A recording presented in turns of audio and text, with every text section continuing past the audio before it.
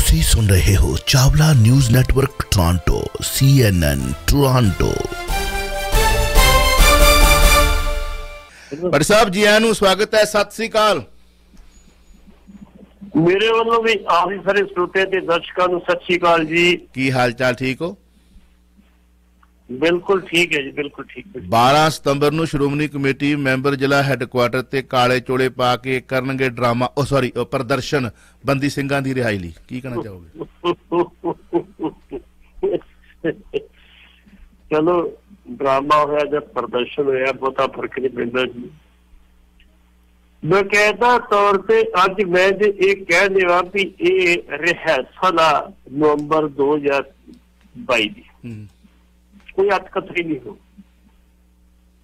ਕਿਉਂਕਿ ਇਹ ਜਿਹੜੀ ਬੰਦੀ ਸਿੰਘਾਂ ਦੀ ਗੱਲ ਕੀਤੀ ਗਈ ਹੈ ਬੰਦੀ ਸਿੰਘਾਂ ਦੀ ਮੀਟਿੰਗ ਸਿਰਫ ਓਨਲੀ ਸ਼੍ਰੋਮਣੀ ਕਮੇਟੀ ਦੇ ਕੱਲ ਕੀਤੀ ਗਈ ਸੀ ਨਾਲ ਧਰਮ ਪ੍ਰਚਾਰ ਕਮੇਟੀ ਦੀ ਮੀਟਿੰਗ ਕੱਲ ਕੀਤੀ ਗਈ ਹੂੰ।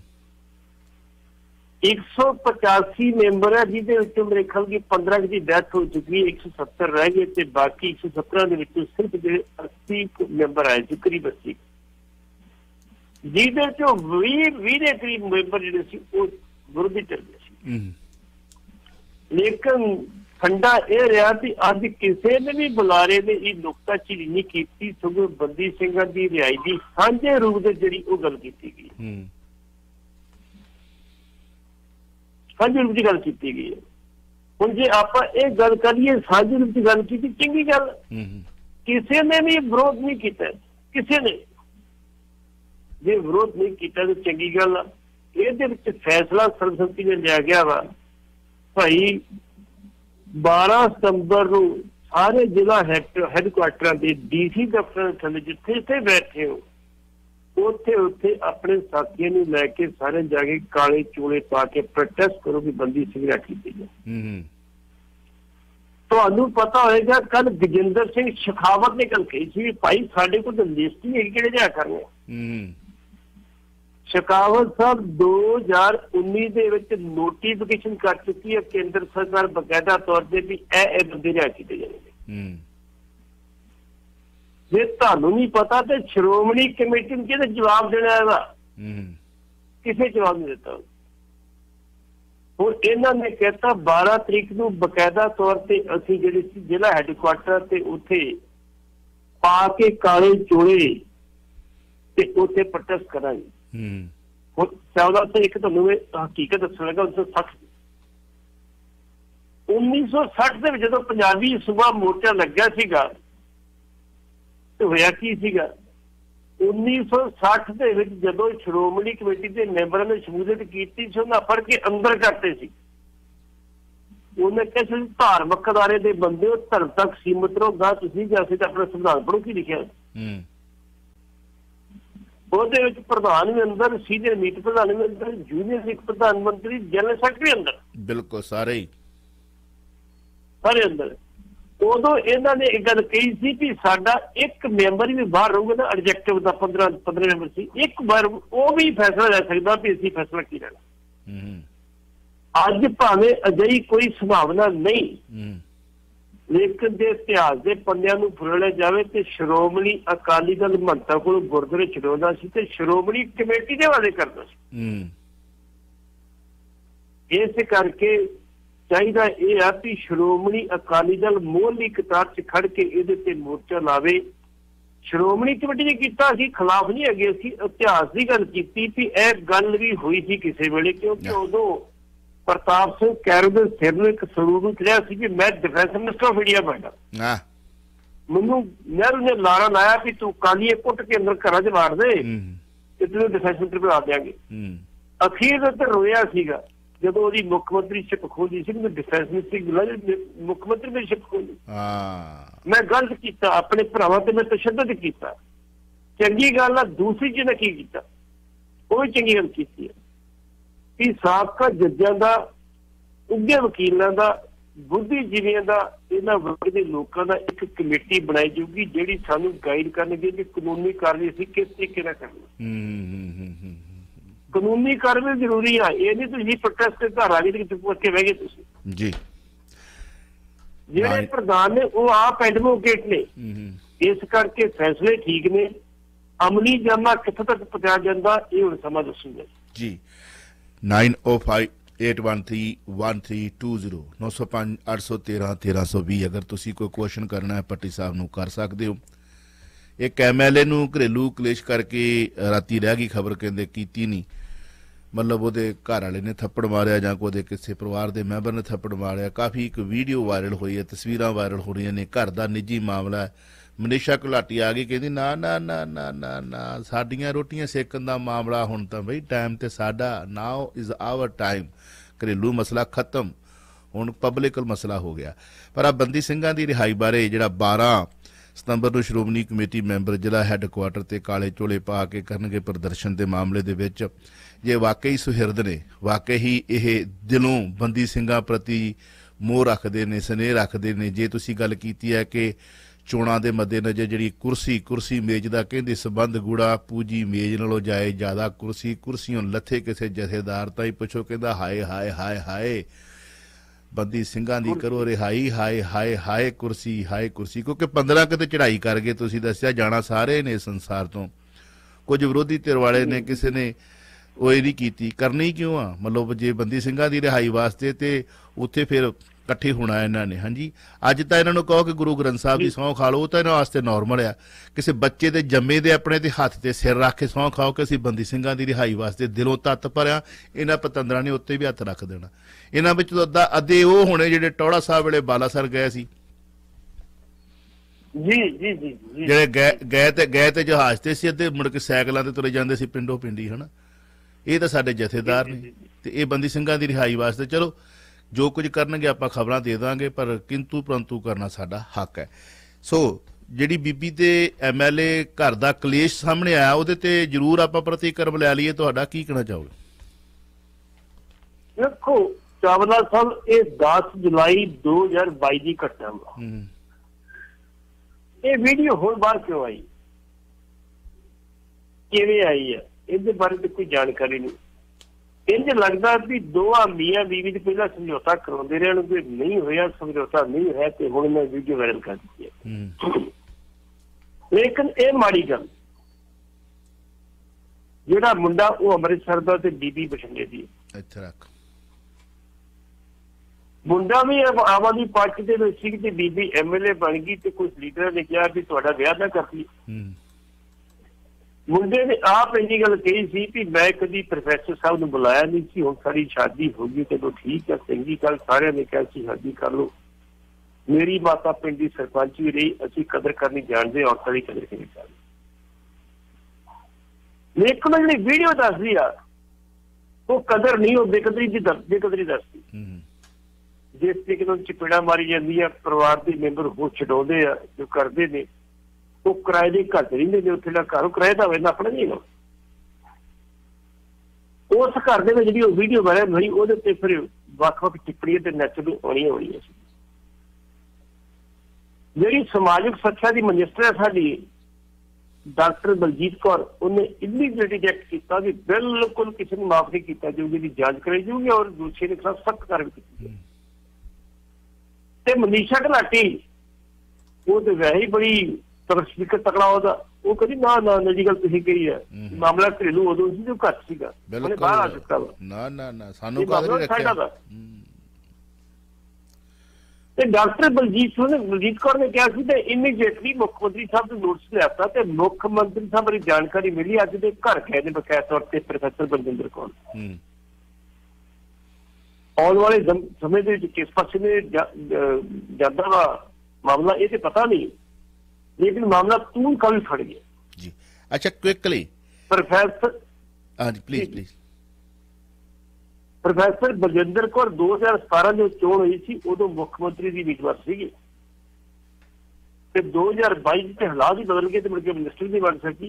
ਖੈਰ ਅਸੀਂ ਕਹਾਂਗੇ ਇਹ ਜੋ ਘਟਨਾ ਵਾਪਰੀ ਮੰਦਭਾਗੀ ਘਟਨਾ ਨਹੀਂ ਵਾਪਰਨੀ ਚਾਹੀਦੀ ਔਰਤਾਂ ਦਾ ਸਤਿਕਾਰ ਕਰਨਾ ਸਿੱਖਣਾ ਚਾਹੀਦਾ ਉਹਨਾਂ ਦਾ ਹੋਣਾ ਚਾਹੀਦਾ ਵਾ। 10 ਜੀ ਘਰ ਦੇ ਹੋਣ ਨਾ ਨੌ ਬਿਮਾਰ ਹੋ ਜੇ ਤੇ ਇੱਕ ਬੜੇ ਆਰਾਮ ਨਾਲ ਜਿਹੜੀ ਮੌਤ ਸਾਨੂੰ ਨੌ ਨਿਭਾ ਲੈਂਦੀ ਹੈ। ਜੀ ਜੀ ਜੀ। ਕੱਲੀ ਔਰਤ ਜਵਾਨ ਹੋਵੇ ਤੇ ਘਰ ਦੇ ਵਿੱਚ ਮਾਂ ਭਰ ਛੜੀ ਹੁੰਦੀ ਓਏ ਖੰਡ ਕਿੱਥੇ ਪਈ ਓਏ ਪੱਤੀ ਕਿੱਥੇ ਪਈ ਓਏ ਚਾਹੇ ਬਿਨਾਂ ਪੁੱਛੀ ਮੰਮੀ ਨੂੰ ਕਿੱਥੇ ਪਈ ਪਹਿਲਾਂ ਉਹ ਮੁੜ ਕੇ ਉੱਠ ਬਿਮਾਰੀ ਉੱਠਦੀ ਆ। ਬਿਲਕੁਲ। ਕਿ ਕੱਲ ਨੂੰ ਮਾਂ ਪਰਸੂ ਕਰਦੇ ਨੇ ਬਿਮਾਰੀ ਉੱਠ ਕੇ ਤੁਹਾਡਾ ਕੰਮ ਕਰ ਤੁਹਾਡਾ ਕੰਮ ਨਹੀਂ ਬਿਲਕੁਲ ਬਿਲਕੁਲ ਬਿਲਕੁਲ। ਇਸੇ ਕਰਕੇ ਤੇ ਜਿੱਥੇ ਰੱਬ ਨਹੀਂ ਪਹੁੰਚ ਸਕਿਆ ਮਾਂ ਨੂੰ ਜਾਂ ਔਰਤ ਨੂੰ ਪਹੁੰਚਾਇਆ ਸਾਨੂੰ ਕਦਰ ਕਰਨੀ ਚਾਹੀਦੀ ਹੈ। ਸੋ ਕੋ ਮੰਦਾ ਆਖੀਏ ਜਿੱਤ ਜਮੈ ਹੈ ਰਾਜਾਨ ਹੁਣ ਰਾਜਾਨ ਤੇ ਵੀ ਕਹਿੰਦੇ ਕਿ ਰਾਜਾ ਸਿਰਫ ਮੇਲ ਮੇਲ ਦੀ ਗੱਲ ਨਹੀਂ ਕੀਤੀ। ਉੱਥੇ ਬਹੁਤ ਅਹਿਮ ਤੇ ਮਹੱਤਵਪੂਰਨ ਜਿਹੜੀ ਗੱਲ ਸਾਹਿਬ ਸ੍ਰੀ ਗੁਰੂ ਗ੍ਰੰਥ ਸਾਹਿਬ ਦੇ ਵਿੱਚ ਹੈ, ਉਹਦਾ ਉਲੱਥਾ ਕਦੇ ਫੇਰ ਕਰਾਂਗੇ। ਆਪਾਂ ਭਗਵੰਤ ਮਾਨ ਜੀ ਦੀ ਗੱਲ ਚੱਲੀ ਹੈ, ਪੰਜਾਬ ਦੇ ਸੀਐਮ ਦਸਤਾਰ ਸਜਾਈ ਹੈ, ਸ਼ਹੀਦ ਭਗਤ ਸਿੰਘ ਆਪਾਂ ਸ਼ਹੀਦ ਕਹਿੰਦੇ ਆ ਭਾਵਾਂ ਕਿ ਕੋਰਟ ਨੇ ਅਜੇ ਤੱਕ ਦੂਜੀ ਵਾਰੀ ਨਾ ਕਰ ਦਿੱਤੀ। ਉਹਦੇ ਤੇ ਕੋਈ ਪ੍ਰਤੀਕਰਮ ਆਇਆ ਹੋਵੇ ਕਿਉਂਕਿ ਦਸਤਾਰ ਸਜਾ ਕੇ ਸੀਐਮ ਬਣੇ ਨੇ ਭਗਤ ਸਿੰਘ ਦੀ ਸੋਚ ਦੇ ਧਾਰਨੀ ਸਰਦਾਰ ਭਗਵੰਤ ਸਿੰਘ ਮਾਨ ਪੰਜਾਬ ਦੇ ਸੀਐਮ ਇਸ ਫੈਸਲੇ ਤੇ ਕੋਈ ਪ੍ਰਤੀਕਰਮ ਆਇਆ ਜਨਾਬ ਦਾ? ਇਹਦੇ ਤੇ ਕੋਈ ਪ੍ਰਤੀਕਰਮ ਨਹੀਂ ਤੱਕ ਹੈ ਕਿਉਂ? ਕੋਰਟ ਦਾ ਫੈਸਲਾ ਦਾ ਗੱਲ ਅੱਗੇ ਵੀ ਗੱਲ ਕੀਤੀ ਸੀ ਕਿ ਉਹਨਾਂ ਨੂੰ ਸ਼ਹੀਦ ਨੇਸ਼ਨ ਨੇ ਐਲਾਨਣਾ ਵਾ ਰਾਸ਼ਟਰ ਨੇ ਐਲਾਨਣਾ ਵਾ ਸਾਡੀਆਂ ਸਰਕਾਰਾਂ ਵਾ ਹੂੰ। ਇਹ ਕੋਰਟ ਦਾ ਕੰਮ ਨਹੀਂ। ਉਹਦੇ ਦੇ ਕਹਿਤ ਅਸੀਂ ਸਰਕਾਰ ਨੂੰ ਕਿਹੜੇ ਕਿਹੜੇ ਕਾਨੂੰਨ ਦੇ ਤਹਿਤ ਹਦਾਇਤ ਕਰੀਏ ਵੀ ਨਹੀਂ ਸੀ ਜ਼ਰੂਰਤ ਤੁਸੀਂ ਦੱਸੋ ਕਿਹੜੇ ਕਾਨੂੰਨ ਦੇ ਤਹਿਤ ਕਰੀਏ ਸਾਡੇ ਕੋਲ ਇਹੋ ਜਿਹਾ ਕਾਨੂੰਨ ਕੋਈ ਨਹੀਂ ਹੈਗਾ ਕਿ ਕਹੀਏ ਨਹੀਂ ਸੀ ਜਨਾਬ ਦੇ ਤੁਸੀਂ। ਇਸ ਕਰਕੇ ਹਾਲ ਦੀ ਕਰੀ ਕੋਈ ਇਹਦੇ ਤੇ ਇਹਨਾਂ ਦਾ ਮੇਰੇ ਕੋਲ ਜਿੱਤੇ ਕੋਈ ਇਹਨਾਂ ਦੇ ਕਿ ਮੰਜੂ ਹਰਿਆਣਾ ਦੇ ਸਿੱਖ ਆਪਣੇ ਫੈਸਲੇ ਆਪ ਕਰਨ ਲੱਗੇ ਤਾਂ ਸਾਨੂੰ ਕੀ ਤਕਲੀਫ ਬਚੇਗੀ ਜੀ ਜੀ ਜੀ ਜੀ ਜੀ। ਸਗੋਂ ਕੱਦ ਵਧੇਗਾ। ਜੇ ਹਰਿਆਣੇ ਦੇ ਵਿੱਚ ਪ੍ਰਧਾਨ ਹੋਊਗਾ ਤੇ ਉਹ ਮੁੱਖ ਮੰਤਰੀ ਦੀ ਕੁਰਸੀ ਦੇ ਬਰਾਬਰ ਬੈਨ ਬੈਨ ਜੋਗਾ ਹੋ ਜਾਏਗਾ। ਉਹ ਉਹਦੇ ਵਿੱਚ 2014 ਤੋਂ ਕੇਸ ਚੱਲਦਾ ਸੀ ਸੁਪਰੀਮ ਐਸਜੀਪੀਸੀ ਚੱਲ ਗਈ ਸੀ ਸੁਪਰੀਮ ਕੋਰਟ ਦੇ ਵਿੱਚ। ਕੇਸ ਚੱਲਦਾ ਰਿਹਾ ਚੱਲਦਾ ਰਿਹਾ ਸੁਣਵਾਈ ਹੁੰਦੀ ਰਹੀ। ਹੁਣ ਆਖਰੀ ਉਹਦੀ ਬਹਿਸ ਨੂੰ ਸਭ ਹੋ ਚੁੱਕੀ ਹੈ। ਉਹਦਾ ਫੈਸਲਾ ਸੁਪਰੀਮ ਕੋਰਟ ਕਿਸੇ ਵੀ ਵੇਲੇ ਦੇ ਸਕਦੀ ਹੈ ਤੇ ਉਮੀਦ ਆ ਉਹ ਹਰਿਆਣਾ ਸਿੱਖ ਗੁਰਦੁਆਰਾ ਪ੍ਰਬੰਧਕ ਕਮੇਟੀ ਦੇ ਹੱਕ ਚ ਆਉਣ ਦੀ ਸੰਭਾਵਨਾ ਬਹੁਤ ਜ਼ਿਆਦੀ ਜੀ ਅੱਛਾ ਕੁਇਕਲੀ ਆਪਣੇ ਕੋਲ 5-7 ਸਾਰ ਜਾਵਾਂਗੇ ਤੇ 10 ਮਿੰਟ ਲੱਗ ਜਾਣੇ ਆ ਤਾਂ ਕੋਈ ਉਸੇ ਵਿਸਤਾਰ ਤੇ ਗੱਲ ਕਰਾਂਗੇ। ਮੁੜ ਕੇ ਫੇਰ ਤੁਹਾਡਾ ਪਿੱਛੋਂ ਝੱਗਾ ਖਿੱਚੂਗਾ ਕੋਈ ਫਾਇਦਾ ਕੀ ਹੈ? ਆਖਰ ਤੀਸਤਾ ਸੀਤਲਵਾਰ ਨੂੰ ਸੁਪਰੀਮ ਕੋਰਟ ਨੇ ਦਿੱਤੀ ਅੰਤਰਮ ਜ਼ਮਾਨਤ ਬੀਤੇ ਕੱਲ ਗੁਜਰਾਤ ਹਾਈ ਕੋਰਟ ਨੇ ਕੀਤੀ ਸੀ ਸਰਕਾਰ ਦੀ ਖਿਚਾਈ। ਦੋਸਤੋ ਇਸ ਕੁਐਸਚਨ ਨੂੰ ਰਾਤੀ ਵੀ ਅਸੀਂ ਡਿਸਕਸ ਕਰ ਚੁੱਕੇ ਹਾਂ ਪਰੰਤੂ ਪਟੀ ਸਾਹਿਬ ਜੇ ਛੋਟੇ ਲਫ਼ਜ਼ਾਂ ਵਿੱਚ ਕਹਿਣਾ ਹੋਵੇ ਤਾਂ ਕੀ ਕਹੋਗੇ? ਮੈਂ ਸੋਚਦਾ ਕਿ ਉਹਦਾ ਕੋਈ ਕਸੂਰ ਨਹੀਂ ਸੀਗਾ ਬੀਬੀ ਦਾ। ਉਹ ਲੋਕਾਂ ਦੀ ਹਮਦਰਦਾ ਸਮਾਜਿਕ ਕਾਰਕੁਨਾ ਐਡਵੋਕੇਟ ਜੀ। ਜਕੀਆ ਜਾਫਰੀ ਦੇ ਜੇ ਅਹਿਸਾਨ ਜਾਫਰੀ ਦੀ ਜਿਹੜੀ ਸਿੱਟ ਸੀ ਉਹਨੇ ਕਹਿਤਾ ਸੀ ਇੱਥੇ ਕੁਝ ਹੋਇਆ ਹੀ ਨਹੀਂ। ਹਾਂ। ਹਾਈ ਕੋਰਟ ਨੇ ਕਹਿਤਾ ਸੀ ਨਹੀਂ ਕੁਝ ਨਹੀਂ ਇੱਥੇ ਕੇਸ ਨਹੀਂ ਬਣਦਾ। ਹੂੰ ਉਹ ਸੁਪਰੀਮ ਕੋਰਟ ਚਲੇ ਗਏ ਤੇ ਸੁਪਰੀਮ ਕੋਰਟ ਨੇ ਵੀ ਉਹ ਕੇਸ ਰੱਦ ਕਰ ਦਿੱਤਾ ਵੀ ਭਾਈ ਜੇ ਸਿੱਟ ਦੀ ਰਿਪੋਰਟ ਨਹੀਂ ਹਾਈ ਕੋਰਟ ਦੀ ਅਸੀਂ ਕਿਵੇਂ ਨਹੀਂ ਮੰਨ ਸਕਦੇ? ਹੂੰ ਹੂੰ ਹੂੰ। ਚਲੋ ਰੱਦ ਕਰਤਾ ਲੇਕਿਨ ਕੇਸ ਰੱਦ ਕਰਨ ਤੋਂ ਜਿਹੜੀ ਪਟੀਸ਼ਨ ਪਾਈ ਸੀ ਉਹ ਰੱਦ ਕਰਨ ਤੋਂ ਬਾਅਦ। ਇਸਾਨ ਜਾਫਰੀ ਜਿਹੜਾ ਸੰਸਦ ਮੈਂਬਰ ਸੀ ਕਾਂਗਰਸ ਦਾ ਜਿਹਦਾ ਮਰਡਰ ਹੋਇਆ ਸੀ 2002 ਦੇ ਵਿੱਚ। ਉਹਦੀ ਪਤਨੀ ਲੱਗੀ ਲੱਗੀ ਰਹੀ ਵੀ ਕਿਤੇ ਸਾਨੂੰ ਮਿਲ ਜੇ ਤੇ ਸੀਤਲਾ ਤੀਸਵਾਲ ਜਿਹੜੀ ਤੀਸਲ ਸੀਤਲਾ ਜਿਹੜੀ ਤੀਸਲ ਸੀਤਲਵਾੜ। ਆ ਤੀਸਤਾ ਸੀਤਲਵਾੜ ਬੇਸਿਕਲੀ ਇਹ ਪੰਜਾਬ ਦੀ ਕੁੜੀ ਹੂੰ। ਸੀ ਮਤਲਬ ਇਹਨਾਂ ਦੇ ਪਰਿਵਾਰ ਨੂੰ ਸੇਠ ਕਹਿੰਦੇ ਸੀ ਤਲਵਾੜੇ ਦੇ ਸਬਕਾ ਸੀ ਉੱਥੋਂ ਸੀ ਤਲਵਾੜ ਬਣੀ ਬੰਬੇ ਰਹਿੰਦੀ ਆ ਸਮਾਜਿਕ ਕਾਰਕੁਨ ਲੋਕ ਸੇਵਾਦਾਰ। ਇਹਨੇ ਪੈਸਾ ਪਤਾ ਨਹੀਂ ਲਿਆ ਕੇ ਲਿਆ ਲੇਕਿਨ ਇਹਨਾਂ ਨੇ ਕਿਹੜੇ ਕੱਢਣ ਦੀ ਖਾਤਰ ਜਿੱਦਲ ਪਟੀਸ਼ਨ ਸੁਪਰੀਮ ਕੋਰਟ ਨੇ ਰੱਦ ਕੀਤੀ ਅਗਲੇ ਦਿਨ ਫੜ ਲਿਆ ਜੀ ਇਹਦੇ ਤੇ ਇਲਜ਼ਾਮ ਲਾਇਆ ਵੀ ਇਹਨੇ ਜਾਲੀ ਡਾਕੂਮੈਂਟ ਤਿਆਰ ਕੀਤੇ ਨੇ। ਚਲੋ ਜਿਹੜੀ ਕੱਲ ਝਾੜ ਝੰਬ ਸੁਪਰੀਮ ਕੋਰਟ ਨੇ ਗੁਜਰਾਤ ਹਾਈ ਕੋਰਟ ਦੀ ਕੀਤੀ ਆ ਉਹ ਕਹਿੰਦੇ ਕਿ ਹਾਈ ਕੋਰਟ ਨੂੰ ਦੱਸਿਆ ਨਹੀਂ ਕਿੱਡਾ ਕੁ ਵੱਡਾ ਕੇਸ ਸੀਗਾ? ਕਿਸੇ ਕਾਮੀ ਦੀ ਜਾਲ ਫਰਜੀ ਕਿੱਡਾ ਕੁ ਵੱਡਾ ਕੇਸ ਹੈਗਾ ਸੀ ਕੋਈ ਕਤਲ ਦਾ ਕੇਸ ਨਹੀਂ ਕੋਈ ਸਮੂਹਿਕ ਬਲਾਤਕਾਰ ਦਾ ਕੀ ਕੋਈ ਕੇਸ ਹੈ ਹੀ ਨਹੀਂਗਾ ਕਿਉਂ ਸਾਡੇ ਕੋਲ ਕੇਸ ਆਇਆ? ਉਹਦੇ ਵਿੱਚ ਇੱਕ ਜੱਜ ਨੇ ਫਿਰ ਚੀਫ ਜਸਟਿਸ ਨੂੰ ਕਿਹਾ ਜੀ ਆਪਾਂ ਕੱਲ ਤੇ ਤਰੀਕ ਰੱਖ। ਜੀ। ਉਹਦੇ ਕਹਿਣ ਤੇ ਇੱਕ ਦਿਨ ਲੇਟ ਹੋਈ। ਅੱਜ ਦੀ ਸੁਣਵਾਈ ਹੋਈ ਤੇ ਅੰਤਰਮ ਐਂਟੀ ਸਪੀਟਰੀ ਬਿੱਲ ਦਿੱਤੀ ਗਈ ਹਾਲ ਦੀ ਘੜੀ ਉਹਨੂੰ। ਇਹ ਵੀ ਦੱਸ ਦਿਆਂ ਮੈਂ। ਜੀ। ਦੋਸਤੋ ਉਹਨਾਂ ਕਿਹਾ ਕਨਫਰਮ ਜ਼ਬਾਨ ਤਾਂ ਹਾਈ ਕੋਰਟ ਕਰੇਗੀ ਜੀ ਜੀ ਜੀ। ਪਰ ਸਾਹਿਬ ਮੇਰਾ ਆਖਰੀ ਕੁਐਸਚਨ ਹੈ ਮੇਰੇ ਕੋਲ ਹਿੰਦੀ ਸਮਾਚਾਰ ਪਹੁੰਚ ਚੁੱਕੇ ਨੇ। ਇਨਸਾਨ ਹੈ ਪੱਥਰ ਨਹੀਂ ਹੈ। ਪੱਥਰ ਵੀ ਕਹਿੰਦੇ ਕੀਰਨੇ ਪਾਉਣ ਲੱਗ ਪੈਂਦੇ ਨੇ ਜਦੋਂ ਕੋਈ ਇਹੋ ਜਿਹਾ ਅੰਦਰੋਂ ਟੁੱਟ ਜਾਵੇ। ਉੱਤਰ ਪ੍ਰਦੇਸ਼ ਦੇ ਮੁੱਖ ਮੰਤਰੀ ਯੋਗੀ ਅਦਿੱਤਿਆਨਾਥ ਸਟਰੋਂਗਮੈਨ ਮੰਨੇ ਜਾਂਦੇ ਨੇ। ਪਟੇਲ ਤੋਂ ਬਾਅਦ ਲੋਹ ਪੁਰਸ਼ ਕਹਿੰਦੇ ਮੰਨਿਆ ਜਾਂਦਾ। ਫੁੱਟ ਫੁੱਟ ਕੇ ਰੋਏ ਨੇ ਜਨਾਬ ਕੀ ਕਹਿਣਾ ਚਾਹੋਗੇ? ਇਹ 2007 ਦੀ ਗੱਲ ਹੈ ਹੂੰ। 2007 ਦੇ ਵਿੱਚ ਗੋਰਖਪੁਰ ਦੇ ਵਿੱਚ ਜਿਹੜੇ ਸੀ ਇੱਕ ਦੰਗੇ ਹੋਏ ਸੀ ਹਿੰਦੂਆਂ ਤੇ ਮੁਸਲਮਾਨਾਂ ਦੇ ਤੇ ਇਹ ਉਦੋਂ ਪੁੱਛੀ ਨਗਰ ਵਿੱਚ। ਹੂੰ ਐਮਪੀ ਸਨ ਬਕਾਇਦਾ ਤੌਰ ਹੂੰ ਇਹ ਫਰਵਰੀ ਦੀ ਗੱਲ ਹੈ। ਜਨਵਰੀ ਜਨਵਰੀ 2007 ਦੀ ਗੱਲ ਹੈ। ਤੇ ਇਹ ਚੱਲੇ ਗਏ ਜੀ ਅਸੀਂ ਧਰਨਾ ਦੇਣ ਜਾ ਕੇ ਗੋਰਖਪੁਰ ਡੀਸੀ ਦਫ਼ਤਰ ਸਾਹਮਣੇ। ਹੂੰ ਹੂੰ। ਇਹਨਾਂ ਨੂੰ ਗੋਰਖਪੁਰ ਦੇ ਬਾਰਡਰ ਤੇ ਆ ਕੇ ਡੀਸੀ ਡਾਕਟਰ ਹਰੀਓਮ ਸੀਗਾ ਉਹਦਾ ਨਿਕਲ ਕਿ ਦੇਖੋ ਜੀ 144 ਲੱਗ ਗਿਆ ਕਰਫਿਊ ਲੱਗ ਗਿਆ ਹਾਲਾਤ ਖਰਾਬ ਆ ਤੁਸੀਂ ਅੱਗੇ ਨਹੀਂ ਜਾ ਸਕਦੇ। ਇਹ ਆਕੜ ਗਿਆ ਕਿਉਂ ਨਹੀਂ ਜਾ ਸਕਦੇ ਸੀ ਮੈਂ ਐਮਪੀ ਹਾਂ ਕਹਿੰਦੇ ਫਿਰ ਕੀ ਐਮਪੀ ਤੁਸੀਂ? ਤੇ? ਹਾਂ ਹਾਂ। ਤੁਹਾਡਾ ਸਤਿਕਾਰ ਕਰਦੇ ਤੁਹਾਡਾ ਸਤਿਕਾਰ ਕਰਨ ਵਾਸਤੇ ਆਏ ਸੀ ਹੂੰ। ਪਰ ਇਹਨਾਂ ਜਿੱਦ ਕੀਤੀ ਉੱਥੇ ਉਹਨਾਂ ਪੁਲਿਸ ਤੋਂ ਵੀ ਧੱਕੇ ਸਹੀ ਕੀਤੀ ਤੇ ਉਹਨਾਂ ਨੇ ਫਿਰ ਇਹਨੂੰ ਗ੍ਰਿਫਤਾਰ ਕਰ ਲਿਆ। ਉਹ ਕਹਿੰਦੇ ਇਹ ਤਾਂ ਚਾਹੁੰਦੇ ਸਨ, ਗ੍ਰਿਫਤਾਰ ਕਰੋ। ਗ੍ਰਿਫਤਾਰ ਕਰਨ ਤੋਂ ਬਾਅਦ ਇਹਨੂੰ ਜੋਗੀ ਨੂੰ ਇਹ ਆਸ ਸੀ ਵੀ ਮੈਨੂੰ ਇਹ ਗੈਸਟ ਹਾਊਸ ਰੱਖਣਗੇ ਲੇਕਿਨ ਉਹਨਾਂ ਨੇ ਕਈ ਤਰ੍ਹਾਂਵਾਂ ਲਾ ਕੇ ਸਿੱਧਾ ਜੇਲ੍ਹ ਭੇਜਿਆ ਹੂੰ। ਜਦੋਂ ਜੇਲ੍ਹ ਭੇਜਤਾ 11 ਦਿਨ ਦੀ ਸਜ਼ਾ ਜੇਲ੍ਹ ਕੱਟ ਕੇ ਇਹ ਵੇਖਾ ਫਰਵਰੀ ਚ ਵਾਪਸ ਆਉਂਦਾ। ਤੇ 12 ਮਾਰਚ 2007 ਨੂੰ ਸਦਨ ਦੇ ਵਿੱਚ ਰੋ ਰੋ ਕੇ ਬੱਚਿਆਂ ਨੂੰ ਰੋ ਰੋ ਕੇ ਦੱਸਦਾ ਕਿ ਜੇ ਤੁਸੀਂ ਮੇਰੀ ਹਿਫਾਜ਼ਤ ਨਹੀਂ ਕਰਦੇ ਤੇ ਮੈਂ ਸਦਨ ਛੱਡ ਕੇ ਜਾ ਰਿਹਾ ਇੱਥੋਂ। ਸੋਮ ਚੈਟਰ ਦੀ ਸਪੀਕਰ ਸੀ ਕਿ ਕਿਉਂ ਨਹੀਂ ਕਰਦੇ ਅਸੀਂ? ਸਾਰੇ ਤੇਰੇ ਨਾਲ ਆ ਯਾਰ ਤੂੰ ਕਿਉਂ ਘਬਰਾ ਇਸ ਗੱਲ ਤੋਂ? ਆਪਣੀ ਗੱਲ ਕਰ ਰੱਖ ਸਿੱਧੀ ਗੱਲ ਰੱਖ ਜਿਹੜਾ ਆਪਣੇ ਆਪ ਨੂੰ ਏਡਾ ਮਜ਼ਬੂਤ ਇਨਸਾਨ ਦੱਸਦਾ ਸੀਗਾ ਤੇ ਉਹਨੂੰ ਇਹ ਹਾਲ ਸੀ ਜੀ। ਜਿਹੜਾ ਹਰੀ ਓਮ ਆ ਹੁਣ ਤੱਕ 12 ਜ਼ਿਲ੍ਹਿਆਂ ਦਾ ਉਹ ਰਹਿ ਚੁੱਕਾ ਡੀਸੀ ਰਹਿ ਚੁੱਕਾ ਵਾ ਹੂੰ ਹੂੰ। ਕਲੈਕਟਰ ਰਹਿ ਚੁੱਕਾ ਵਾ। ਹੂੰ। ਜਦੋਂ 2017 ਤੇ ਆਉਂਦਾ ਵਾ ਪਹਿਲੀਆਂ 30 ਬਦੀਆਂ ਕਰਦਾ ਤੇ ਸਭ ਤੋਂ ਪਹਿਲਾਂ ਹਰੀਓਮ ਨੂੰ ਖੁੱਡੇ ਲਾਉਣ ਲੱਗਾ ਚੱਲ ਤੂੰ ਖੁੱਡੇ ਲਾ ਚੱਲੀ ਜੀ ਜੀ ਜੀ ਜੀ। ਸਾਢੇ 5 ਸਾਲ ਉਹ ਖੁੱਡੇ ਨਾਲ ਰਹਿੰਦਾ ਵਾ ਲੇਕਿਨ ਉਹ ਬੰਦਾ ਹੁੰਦਾ ਕਲਾਕਾਰ। ਉਹ ਗੀਤ ਵੀ ਗਾਉਣ ਜਾਣਦਾ ਉਹ ਕਵਿਤਾ ਵੀ ਜੀ। ਲਿਖ ਜਾਂਦਾ ਕਵ- ਕਿਤਾਬਾਂ ਵੀ ਲਿਖਣ ਜਾਣਦਾ। ਜੀ ਜੀ। ਉਹਨੇ ਆਪਣਾ ਕੰਮ ਕੀਤਾ। ਉਹਨੇ ਇੱਕ ਮਾਨ ਸਰੋਵਰ ਯਾਤਰਾ ਕੈਲਾਸ਼ ਮਾਨ ਸਰੋਵਰ ਯਾਤਰਾ ਇੱਕ ਕਿਤਾਬ ਲਿਖੀ ਤੇ ਉਹ ਦੇਖ ਚਲੇ ਗਿਆ ਮੁੱਖ ਮੰਤਰੀ ਨੂੰ ਜੀ ਆਹ ਤੁਸੀਂ ਮੇਰੀ ਕਿਤਾਬ ਪੜ੍ਹ ਲਓ ਤੁਸੀਂ। ਉਹਨੇ ਕਿਹਾ ਸਹਿ ਜਾ। 10 ਲੱਗਣਾ ਕੀਤੀ ਉਹ ਕਹਿੰਦੇ ਇੱਥੇ ਮਜ਼ੇਦਾਰ ਹੋ ਜੀ।